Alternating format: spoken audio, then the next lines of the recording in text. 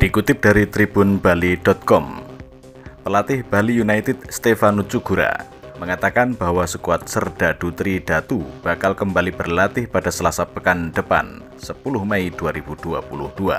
Usai merengkuh gelaran Liga 1 musim 2021 lalu, para pemain diliburkan.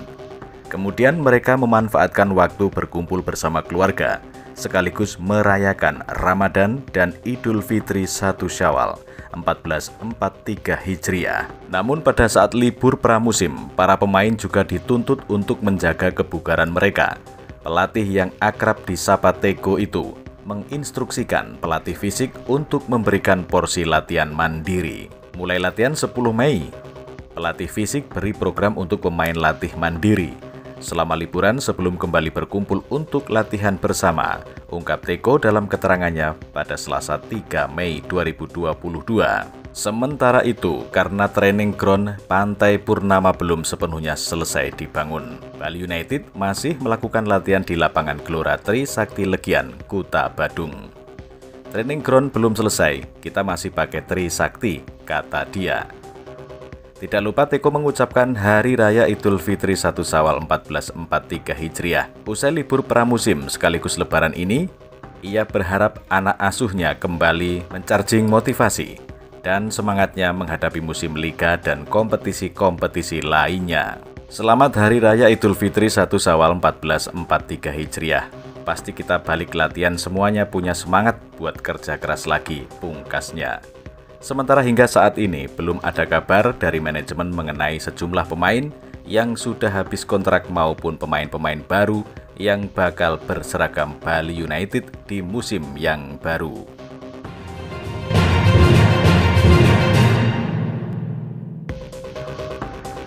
Dikutip dari tribun Bali.com, fans Bali United sepertinya kecewa dengan komposisi usia skuad Bali United Skuad Serdadu Tridatu dinilai terlalu tua meskipun keluar sebagai juara Liga 1 2021-2022. Hal ini yang membuat Bali United tidak menyumbang satu pemain pun ke skuad timnas Indonesia U23 untuk SEA Games. Fans Bali United menganggap wajar jika tidak ada pemain yang dipanggil ke timnas. Bali United tidak menyumbang satu pemain pun pada ajang SEA Games 2021 ini. Pelatih Timnas Indonesia U23 Sintayong sudah menentukan 20 nama yang akan dibawa ke Vietnam. Dari 20 nama tersebut tidak ada nama punggawa Bali United.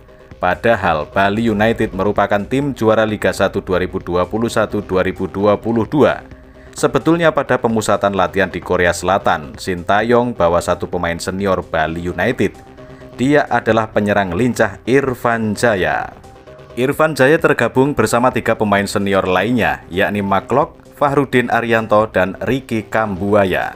Empat pemain ini disiapkan untuk memenuhi kuota pemain senior dalam skuad SEA Games. Sayangnya, regulasi di SEA Games hanya memperbolehkan tiap negara membawa tiga pemain senior. Oleh karena itu, Irfan Jaya terpaksa dicoret Sintayong. Sintayong bahkan mengaku sempat dibuat pusing pada saat memilih pemain senior yang harus dibawa. Dilansir dari bolasport.com, Sintayong mengaku perlu pertimbangan yang matang. Kartu as, kuota pemain senior cuma ada tiga. Mau tidak mau, tidak bisa dipilih, kata Sintayong, dikutip dari bolasport.com. Pertimbangan yang sangat lama untuk tidak memilih Irfan Jaya, ujar Sintayong. Namun ada salah satu pertimbangan, yakni sudah ada Egi, Witan, dan Sadil Ramdhani. Ketiganya sudah bisa bergabung ke timnas U23 Indonesia. Tutur Sintayong menambahkan. Menanggapi pencoretan Irfan Jaya dari timnas U23 SEA Games, sejumlah fans Bali United memberikan pendapatnya. Tidak sedikit dari mereka yang mendukung apa yang dilakukan oleh Sintayong.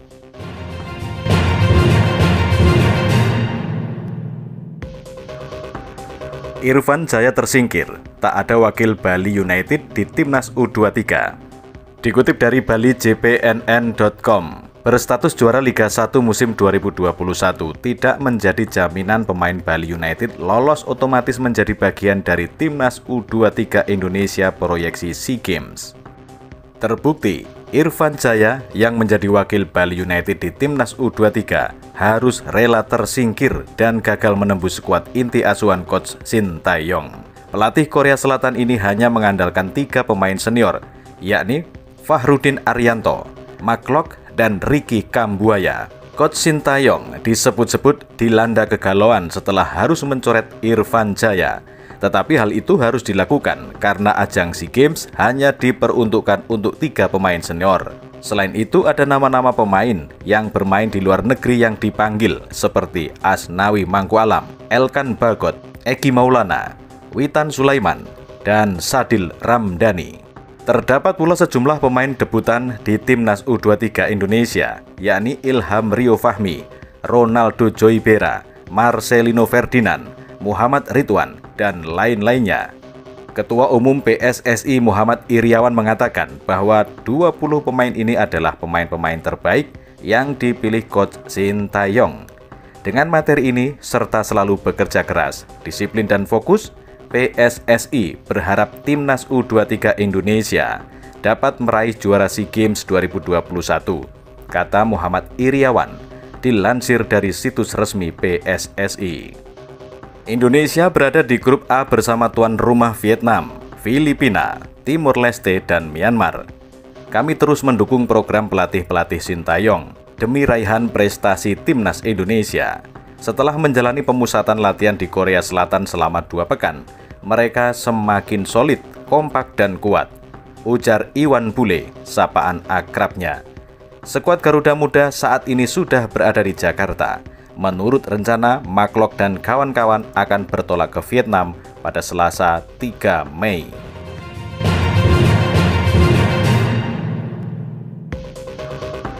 Dikutip dari tribunbali.com, jadwal lengkap Bali United di Piala AFC 2022, Semeton siap-siap neribun lagi di Stadion Dipta. Inilah jadwal Bali United di Piala AFC 2021 Semeton siap-siap kembali neribun di Stadion Kapten Iwayan Dipta Gianyar Bali. Bali United akan menjadi tuan rumah Piala AFC 2021 zona ASEAN babak penyisian grup G. Seluruh pertandingan grup G akan digelar terpusat di Stadion Kapten Iwayan Dipta dan menggunakan sistem separuh kompetisi. Dengan demikian, Bali United akan bertindak sebagai tuan rumah. Terdadu Tridatu bakal menghadapi lawan-lawannya di kandang sendiri. Bali United yang menjadi wakil Indonesia untuk tampil di Piala AFC 2022 akan bergabung di grup G bersama Kedah Darul Aman FC Malaysia, Fiska FC Kamboja, dan Kaya FC Iloilo Filipina. Partisipasi Bali United dalam satu ajang bergengsi di Asia ini adalah berkah dari prestasi Serdadu Tridatu menjuarai Liga 1 2019. Sesuai jadwal, pertandingan fase grup di zona ASEAN akan berjalan selama sepekan. Selama sepekan tersebut, Bali United akan melakoni tiga kali pertandingan. Jarak satu laga dengan laga lainnya hanya tiga hari saja. Sebagai tuan rumah alias tampil di kandang, tim asuhan Stefano Cugurateko tentu sangat diuntungkan. Ilijas Pasojevic dan kawan-kawan pun memiliki kans yang cukup besar untuk memenangkan pertandingan agar bisa lolos ke babak berikutnya. Pelatih Bali United Stefano Cugurateko menargetkan tim asuhannya bisa lolos ke babak berikutnya karena tampil di kandang sendiri. Apalagi Pertandingan Piala AFC kemungkinan besar bisa disaksikan langsung oleh fans Bali United di Stadion Dipta. Fans Bali United sudah bisa kembali tribun atau nonton langsung di tribun dan memberikan dukungan langsung kepada tim kesayangannya.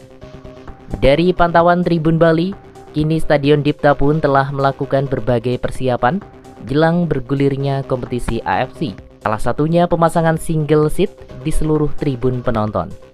Total 18.000 kursi penonton dipasang di Dipta sebagai syarat dari AFC. Selain itu, manajemen kini sedang fokus memulihkan kondisi rumput di Stadion Dipta. Saat ini kondisi rumput di Stadion Dipta mengalami beberapa masalah, seperti adanya cekungan dan rumput yang mati di beberapa titik. Kondisi ini terjadi setelah Stadion Dipta dipakai sebagai venue Liga 1 Indonesia 2021-2022. Saat itu jadwal pertandingan sangat padat sehingga berdampak besar terhadap kondisi rumput lapangan. Kini, pihak manajemen sedang memulihkan kondisi rumput untuk persiapan Piala AFC 2021. Diperkirakan rumput kembali hijau hingga akhir Mei nanti. Di laga pertama, Bali United akan menghadapi wakil Malaysia Kedah Darul Aman FC.